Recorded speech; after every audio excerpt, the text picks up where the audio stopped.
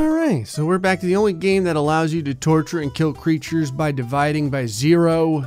It's Species. More kicking science in the balls, damn it. Species is a game that allows you to do whatever the hell you want to the various parts that make up the ecosystem upon which the creatures get to get tortured in. We found out what happens to creatures when they suffer under 100 million times gravity, but now I want to do something even dumber. I want to use negative gravity. I didn't score really high in science. Isn't negative gravity just repulsion? And someone say it was like dark energy or something? I don't know, it doesn't matter. Either way, it sounds like the way that Nightcrawler from the X-Men would have been created if he was also addicted to heroin. And so today, we will force creatures to experience negative gravity until I eventually break the game. Oh, I break the game when I'm not trying. If I try, this thing's gonna crash in the first 20 minutes. Now, before we do anything here, we need a nice seed. There we go. That's hot. Now we completely obliterate it to the point where it's not even recognizable. Perfect. Welcome to a land where dreams come true. Kill us,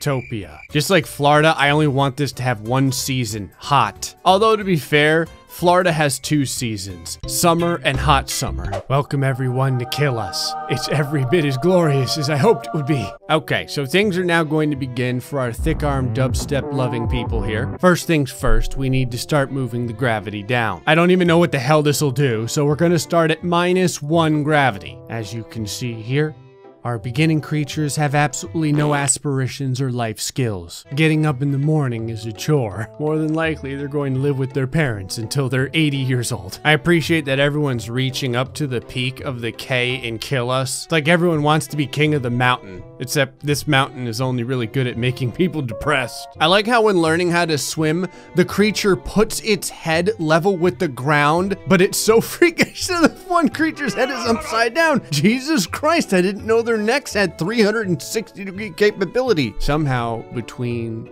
before and now, these creatures got mixed with owls. This is super disturbing to watch. All right, everything's looking pretty good, as is typical. Bouts of cannibalism and psychosis are rampant. The number of creatures is going down very quickly, and just as quickly they fought back. Excellent. So the very first new species due to negative gravity have been created and they just look slightly more angry than the other species. Oh, and their, their skin colors changed. I like how they're just becoming less sexual and more angry. It's like without gravity, people suddenly don't have anything to do anymore. I'm not gonna lie, going to negative gravity is like a thousand times more deadly than going to positive gravity. My creatures didn't die this much on a million times positive gravity. What the hell's going on here? Were they ejaculating into space? Or ejecting into space? You know what I mean? All the creatures are still struggling to survive. This thing's over here. It's like, you know what I miss from my childhood? Not paying taxes and gravity. Although technically if there was no gravity, wouldn't there also be no atmosphere? Maybe it's causing all sorts of really bad repercussions that I hadn't previously considered. That's good though. That means that whoever manages to survive this culling will become the most powerful species we've ever built yet. I know, man. It sucks that I have to torture you for like a hundred thousand years in order to get you guys to evolve, but I mean,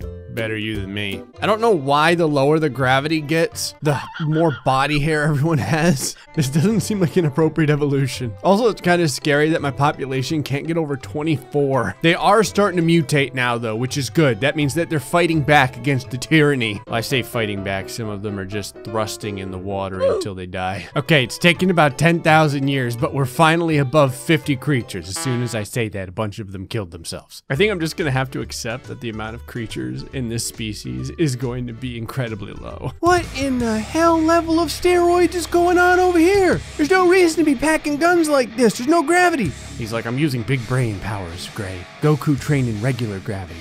I'm training in negative gravity. Okay, since it's pretty clear that uh, we're finally starting to go up, I'm gonna go ahead and move this to negative 100 gravity and see if that instantaneously causes everyone to go extinct. Okay, may God have mercy on your souls. I love how everyone's goal now, in order to stay anchored to the planet because the gravity is trying to shove them out, is to hug the ground. People are turning into spiders. This is both concerning and somewhat scary. What the hell kind of SCP creature are you? Negative gravity.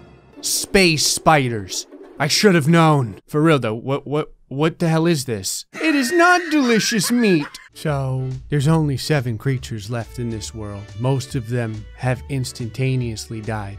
The ones that haven't wish that they did. What the hell is this? It's like something out of freaking Hellraiser.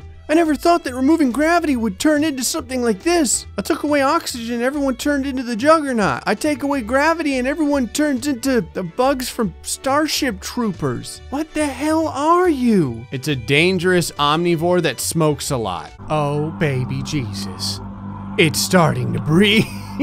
what can I say, really? Watching these things multiply is kind of like watching a nightmare get out of hand. I like how the father is just like, I've had enough of this. I'm going to drown myself in the sea after seeing what my children look like. I don't even know what to say about this. The creatures were stuck at like four to five creatures for the longest time, but it's totally possible that my ultra spider aliens are beginning to fight back against the lack of gravity. I have never seen a species want to drown itself so much as these creatures. So, this is what we're currently working with thanks to the lack of gravity. Can someone please tell me what this is between this creature's legs? It looks like another head. I, you know, like a like a skull. It's just getting bigger. Okay, you 20 freaks are the strongest that there ever was. And so it's time to go down to negative 1,000 times gravity. I don't even know what these numbers mean anymore. Oh no the game hit a problem I didn't anticipate. What, you mean getting negative 1,000 times gravity isn't normal? So at negative 1,000 times gravity, we're starting to get some real issues with the creatures here. What kind of starburst, tie-dyed freaking nature is this? It's got like a 30 foot long neck. I don't even know really what to say anymore. The space spiders have now developed fins and flippers. I'm I'm slowly creating the apex predator. God, it's like aliens, but a hundred times worse. Jesus Christ, this one's trying to stand upright. You can actually see the evolution where they kind of kept their previous human form as well as the eyes, and then it slowly just moves into the full spider. Again, there's only nine creatures left. It's all that can manage it. But I guess this means that we'll have to move to negative 1 million times gravity. Chew on this. So good news, guys. The creatures finally learned how to flourish. I had to get rid of the Kill Me Island and just replace it with normal islands. Everything's living fantastically now. Although if you look at what they appear to look like, it's not really a good thing. This is basically a cancerous tumor with two spider legs. That's effectively what this is. Look at it. It only has two legs. It's awful. Meanwhile, some other creatures have simply formed a couple of extra legs to make this work. Well, looks like we have 21 whole creatures left alive. That means it's time to decrease the gravity to negative 10 million times gravity. Ah, the extinction has begun. Actually, considering I just well, decreased, I guess, the gravity, they're doing quite well. In fact, they're starting to multiply. What the hell is this? The fact that they are coming back so strongly leads me to want to know exactly what level of creature we have working for us at this point. Never mind, I wish I had never looked. What the hell happened to this guy's calves? Did they forget to grow up? This thing goes to his parents and it's like, Daddy, where's my calves? And his father's like, You'll get them when you grow up. Same thing with his forearms. Why are they missing forearms? I, I really enjoy that this demonic spider pickle got to keep its feet on the back limbs. When you go to hell, this is the very first thing that greets you. I've had to baby these damn things so much that maybe this is the sweet spot for negative gravity. I never would have friggin' thought. I'm not gonna lie, you are one hideous looking walking toe. This is probably the oddest relationship between two creatures I think I've ever seen in my entire life. By the way, can you see the little third limb that this creature has right back here.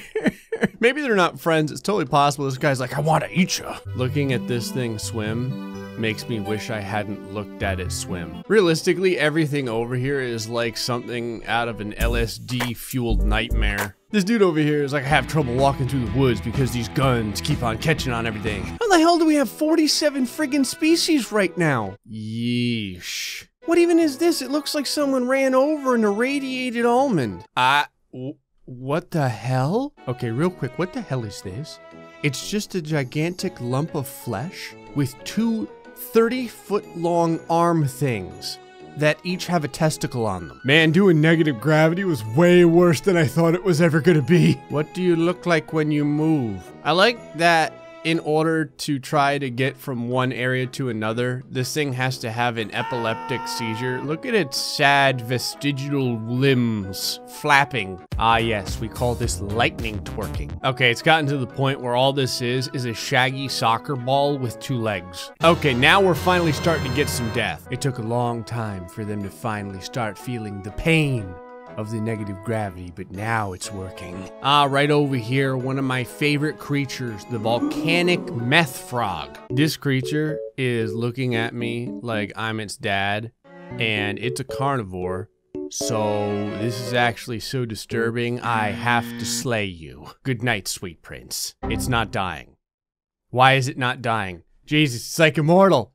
Die! This thing's sneaking up on these things, trying to eat them, and you can see it's like, shh, I'm camouflaged. They don't see me. This creature over here has the big brain strat, literally the big brain strat. It just keeps growing its head larger and larger, and then it moves along the ground by undulating its, um, whatever that is right there. I like how every other creature is trying to deal with the lack of gravity by growing longer limbs, and this one just wants to be a rebel by growing shorter limbs. I don't know what to call this. Would you call this crawling? Oh, it's horny. That's why.